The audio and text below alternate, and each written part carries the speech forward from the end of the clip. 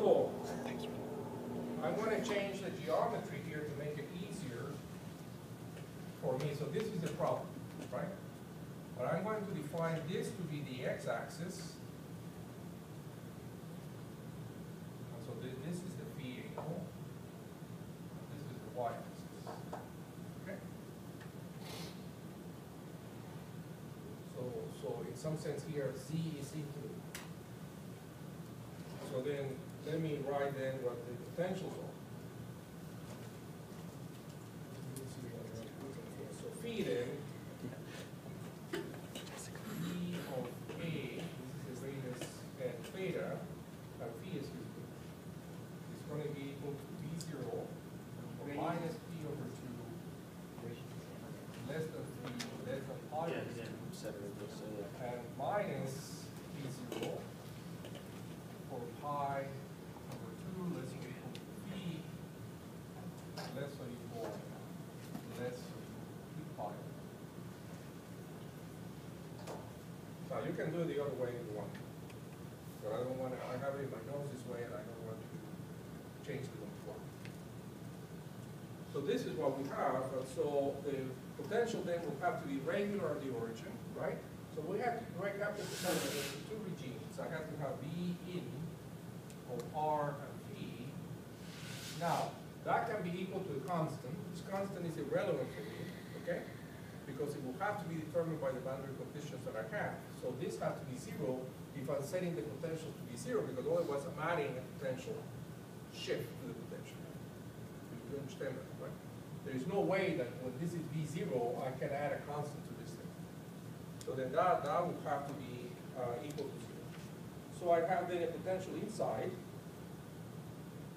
And so I'm going to write this as the sum n equals one infinity now I'm going to write it in two a to the n, the n, plus b the n, r to the, uh,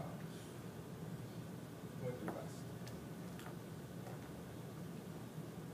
r to the n of a n cosine of n phi plus b n sine of n phi. I have the r to the n inside. So this is the v e, so this is for r less than. What happened to the first two terms? of- Well, you cannot have the log of r because when r is equal to zero, this goes up, right? I can put an a zero in there, like I said before, but I'm not gonna be able to have a b zero here by shifting the potential, right? So what about outside?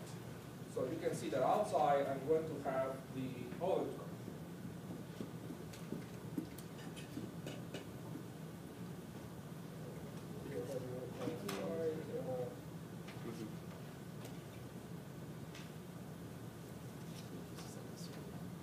Let me do the inside right now for a different. So now, why is the boundary conditions? Uh, the boundary conditions is, is that it has to be zero, so I can do a V out if you want, so I can write V out of R V. And so this will have, we can have the log of R if you want, okay? And so then this can be n equals one to infinity of one over R to the n times C n cosine of n phi plus E n sine of n phi. And then I can add if I want to, because the, oh, no, this is not so, so that the R is greater.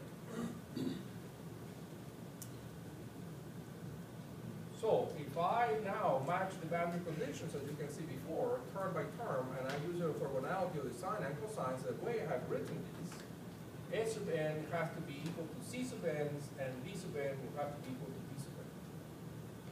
Right? With the A to the two A plus one. Right? So if I match the boundary conditions now, the two terms, what do I get? That one over A to the n, C n, will have to be equal to A to the n, A. And one over A to the n, will have to A to the n, E n. This is, uh, B in and A equal to B out.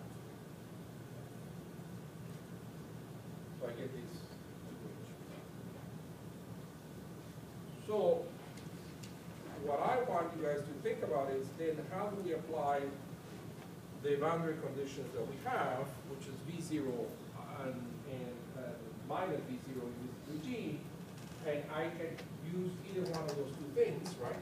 It doesn't matter, because I, I, V zero will have to be, uh, V and A will have to be equal for these cases, so let's apply. So then at the boundary, I will have to then multiply both sides by sine and cosine, and I have to then ask the question. So V zero as a function of phi now will have to be equal to the sum n equals one to infinity, a to the n, the a n here, cosine of n phi plus v n sine of n phi.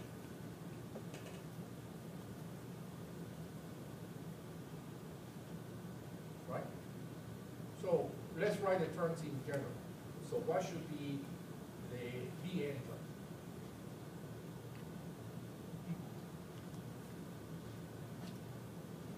So you multiply both sides by the sine of n phi, right?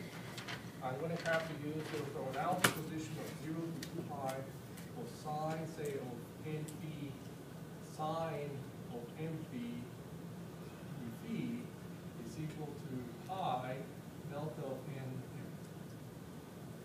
m. I'm gonna use the same for the other ones, and I'm going to say for the cosine is zero, okay?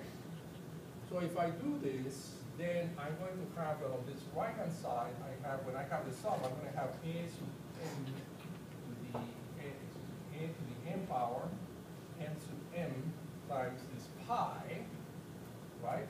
Has to be equal to the integral from zero to two pi of v of a n phi sine of n phi. Similarly, I'm gonna have that a sub m, a n pi is is equal, because that's on the right hand side, then equal to the integral from zero to two pi of v zero of a n phi times the cosine of phi.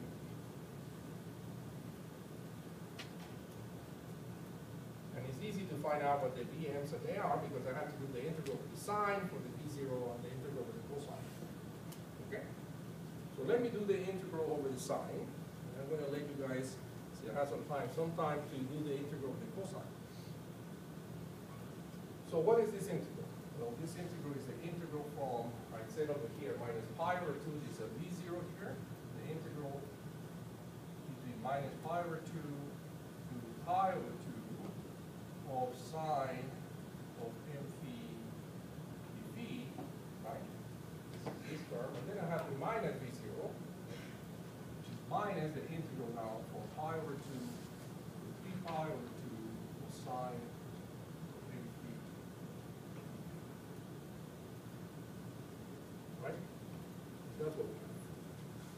So What is the first term?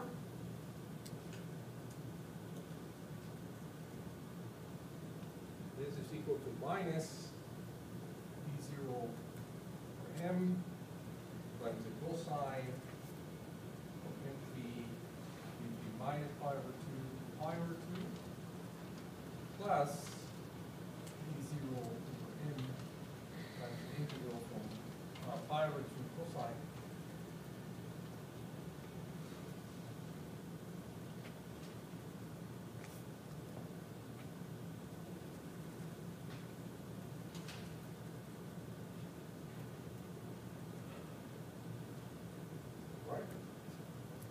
these integrals are straightforward to do, and so what do we get? What are these equal to?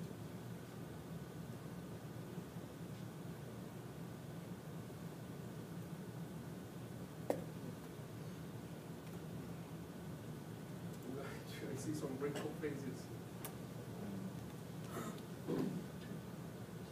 What is the minus, minus? What is the cosine of minus theta? But it depends on what m is. Huh? It has to, it depends on what m is.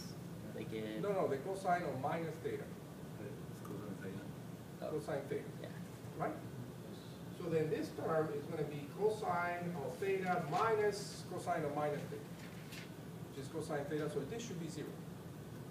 Because this is minus pi over two, so this is minus cosine of minus pi over two times m. m could be two, four, six, right? But because of the minus sign, that is plus cosine of the same thing. So you're substituting these two things, so that should be zero, right? Zero. What about here? Zero two, because three pi over two is negative pi over two. Yes, so this should be equal to zero for m even. Equal to zero for m odd. So the sine integral gives me zero no matter what I do. Right? Um, Now, what about the, oh, the b term?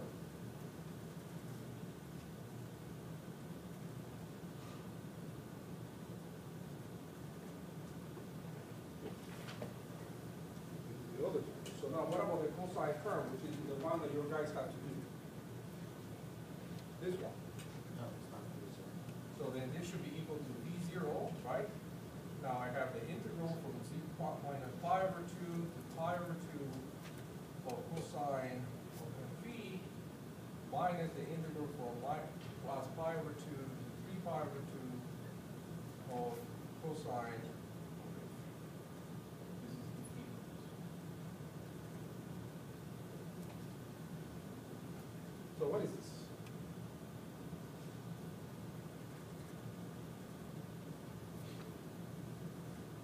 The integral cosine is there?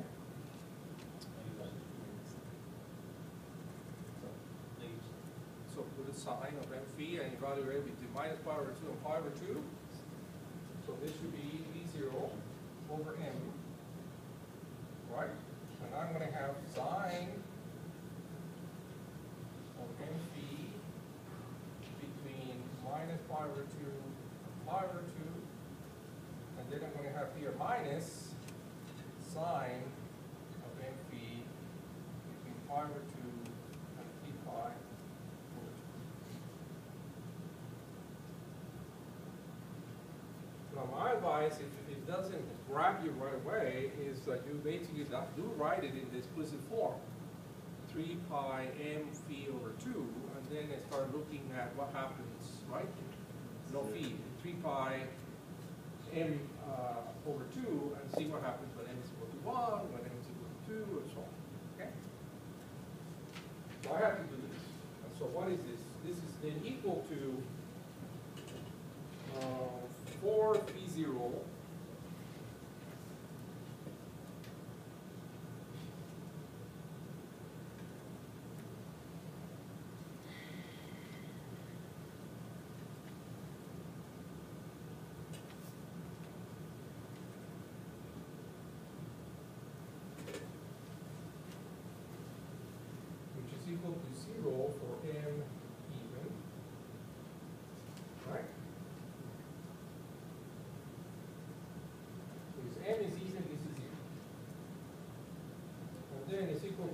1 for m equals 1 is equal to minus 1 for m equals 3 is equal to 1 for m equals 5.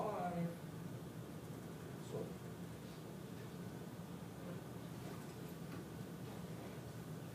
and, and, and so when I look at this, and then I said this, well, this has to go as some minus 1 to what? I can, there are many ways in which I can write this, but I can write this as four v zero over n, just to give you an idea. And then I can write it in simple terms as minus one to the n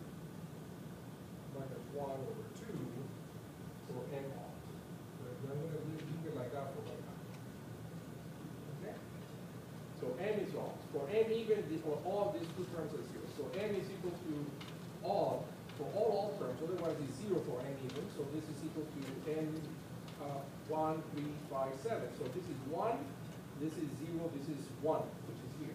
When n is equal to 3, this is 3 minus 1 is 2 over 2 is 1, so this is minus 1. When 3 is equal to 5, 5 minus 1 is 4 over 2 is 2, is this way. Now, this is not the only way to write, but remember, n is odd. So later on, I can substitute for m odd a term that goes as 2n plus 1, right? Where n is equal to 0, 1, 2, 3, 4, right? And then I put then this as minus one to the n, right? But the coefficients, remember, are all terms. This is what I have to tell you. So I have a sub n here. So let's write what a sub n is. So a sub n then is going to be equal to, I have a pi over a sub n, right?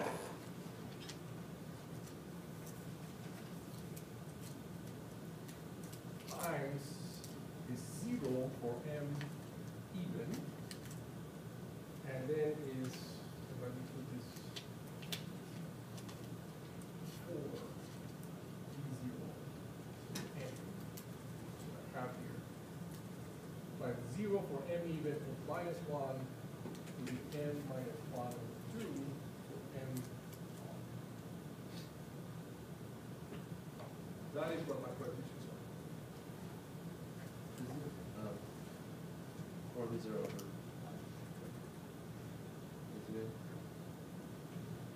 This is m is equal to that, so this will be zero over m is what I have there, right? As pi over a to the m, because I was multiplying this thing on the right hand side. Pull it out.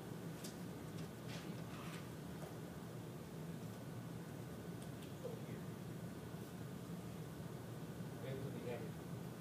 And the pi, remember, came back from doing the orthogonality condition of the sines and cosines. Okay, we're running out of time, Uh, sorry. So let's, uh, let's then write what this is. So let me write, uh, the potential, E in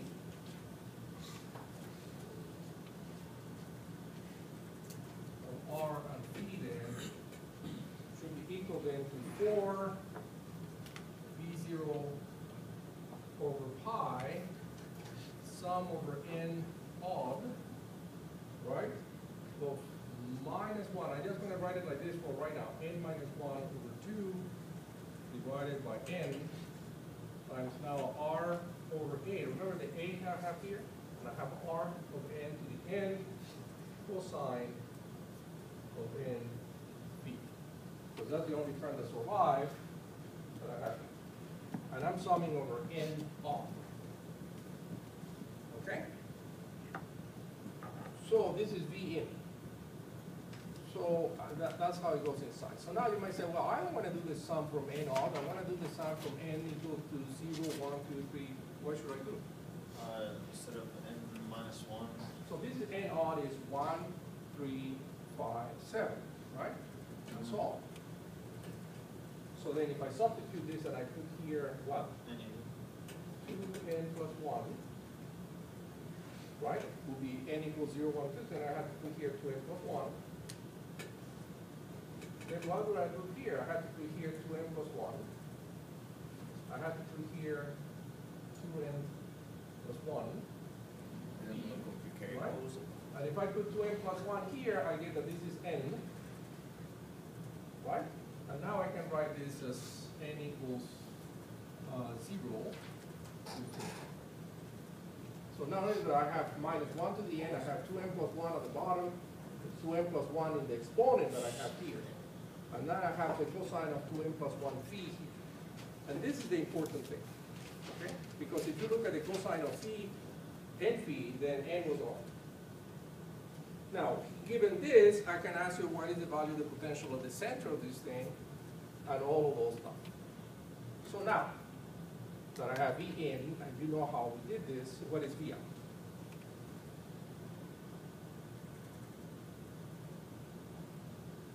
You just swap your, Now, don't get confused with the thing that we did with the Legendre polynomials. This is not similar to that. We're not on any axis. We wrote an expression. Right? And so the v sub n were zero, so the d sub n will be zero. The s sub n's, I know what it is, so c sub n's should be equal to a to the two n, a to the n. This is the C sub n's cosine of n right? I have a to the n, a to the n on top, so then c sub n has to be a to the two n. So write for me, knowing this, uh, knowing this, d of course is zero because it's b equal to zero, we said that the b's are were zero, right? So write for me the solution outside using this, So the n is zero, the n is zero, right? yeah, you go zero, so you got zero. Just, just a quick, clarification, a to the m in this whole thing was substituted for r over a to the n. Oh, yeah, because what I did is multiplying by sine of n phi, and then integrate, and so when the sum over n was there, the only term that survived was the n equals to n. Right. So then, then I have to have an s sub m, right, that's pi here, right? And then a b sub n times pi there, so this is what I have pi there. Right. And Then I have to do the integral on the right-hand side, on the left-hand side, excuse me, that was zero. And that a n is r over a, right? The- Or a to the m? Yeah, that's r over a to the m. And so then when you look at a m now, it's equal to whatever I have here, right? One over pi, a to the m. Oh, I see what you're saying, so this, there was a pi, yeah, this pi goes to the pi. That's what you're saying? This is the whole thing, Josh, there there was a pi there. Yeah, well, like, I was, I was, that's I said earlier before you wrote it, right? Oh, I was- okay. I'm wondering, just the a to the, um, what did it, what is it? Well, a, a to the m, this goes to the m power, so m was Right. off, right? So Right. it's one, three, five, seven. What's it expressed as, a to the m in the expression for the potential inside? Potential inside, now I have to put this inside. I don't have to, I can take it outside, but I divide it as r to the n over n to the n, because I have It's supposed to be the. r to the over n. Uh-huh. You see how AM was. So now I have an a to the m at the bottom, right? Just like. So I have to make n equals to n, so I have to have this here. Remember, we have an n here, but we have n equals to one. Yeah, The okay. end is zero. Alright, I get it. So then I, we change it to So the a Yeah, so you did, that's just, that's Yes. just. Okay, so now we're running out of time, guys. So what about V out? What do you have to do about V out? You Don't just, you just add a term, the one over eight to the two n? you just replace C n with En caso the end, two with H. the at the end. I have to have this here. So that's going to. yes. Cn is equals to, you said a squared, a to n, It's easy, a n. you just multiply it by H. Uh, but it's not so obvious, it's, uh, uh, don't do it in your head. I don't want you to do it in your head. You have to write it because of the n odd thing. N it was odd, remember that? We wrote it as n odd. Here. N was odd, and I had a n minus one over two. Oh, the fuck. Okay? So now, when you write it, we wrote it everything the way it was here, but then we say, well, m odd, I'm gonna write as two n plus one, where n is zero, one, two, three, right? So if I put a, for m here, two n plus one, what do I get? Two n plus one minus one is two n. Two n over two is n, so this is n. But n here is now zero, one, two, three, right? But now at the bottom, we had m, which was odd, one, three, five, seven, so I have to put two n plus one, and of course, this was to the n, so oh. this is two n plus one, and here was two n plus one. Right? So then these terms have to stay the same. The question is, what does the potential look like for the outside?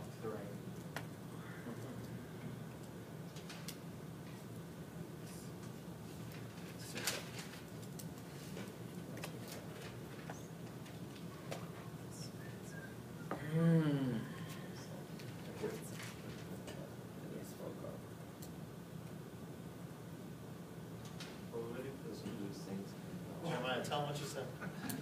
So should we, should we write it like, if I write it like this, four pi or pi sum n equals zero to infinity minus one to the n over the two n plus one, then what do I write here? Do I write here a over r to the two n plus one times the cosine of two n plus one phi? The question is, this is what I write. No, the n plus, two n plus one is. I mean, these potentials have to be the same at r equals to n. r equals to s. right? Mm, Is it that simple? No, I don't think so. okay. You have to work, it is not very difficult, Josh, and from now on, it's not gonna be very complicated once you understand the symmetry between these two things because of the continuity potential of the input. Okay, so no, I don't want to, I don't wanna be able to, to do the next one, oh, we run out of time. Oh. But I'll have to, you see, this was a problem in the, in the textbook. You just took me back to Why did you pick a problem in something. between our homework problems? That's what I wanna know. Oh, because why I'm giving you this problem, you see, this problem, this problem is, is, uh, it's, it's not complicated, but it's book- more bookkeeping. After reading. It's more bookkeeping, but the other problem we're gonna do, and I'm gonna put this slide in there, imagine I have an infinite cylinder. Okay, and so this is now X, and this is Y, and this is out of the board. And now, this is a grounded infinite cylinder. So the Z axis is inward. Is this a problem in homework? No. Oh, no. This is it's one similar to one in the homework. And Now I apply um, an electric field, which is E is equal to E zero x hat. So it's in the x direction. And now I want to find the potential everywhere, okay? And it's grounded. So, when it's grounded, remember what I said before, even if it's a shell, the potential inside is constant, right? So it doesn't matter if it's a shell or not, we don't have to specify that, so it's grounded, so the potential of the surface of the thing will be zero. The potential at infinity will have to give me E zero x hat, right? And so I had to find again a polarization of this cylinder, there will be a polarizing thing. So this is what I I was going to do, but now we won't show to to do it, but I still want to hold you accountable on it. Which is, now that you solve for this problem, which you have done the sphere rule, and you will find what the uh, induced surface charge density on the sphere was, right? Remember, by that potential on the electric field in the z direction, then you have those two terms, right? And you find the polarizability, that was one of the problems that was assigned in the homework, which I need to collect to. Uh, So, so, uh, so now here, you're gonna end up with a similar expression. So the question is, what is the difference between these two? What is the difference in geometry in terms of the polarizability of a sphere versus the polarizability of an infinite cylinder now? And for you to answer that question, you have to look at the expressions that you get. But you have to remember that this electric field, like in the previous case, is uniform, right? I ground this, and now I have to write my solution, and my solution has to go to this. So now you have to see whether or not this is, the only reason this is a little bit more complicated is because I have these two terms multiplying these two terms. You see? So now you have to say, well, if this goes as our cosine of np, it would look to me that this will have to be cosine p because x, of course, is equal to r cosine p, y is equal to r sine p, right? So then you have to find what x hat is, right? Is the, the graph. So if this is in the x direction, the potential basically has to depend on x. So the limit, right, of uh, r going to infinity, right, minus dv dx has to go to e of x. That's what we mean. So that's what we I didn't know that X was so. Okay, let me give you the back. And, um, in the little time that, before we get kicked out of here, Ed, stay with. Huh? Stay with. and select your homework. And this homework is a little longer. We started.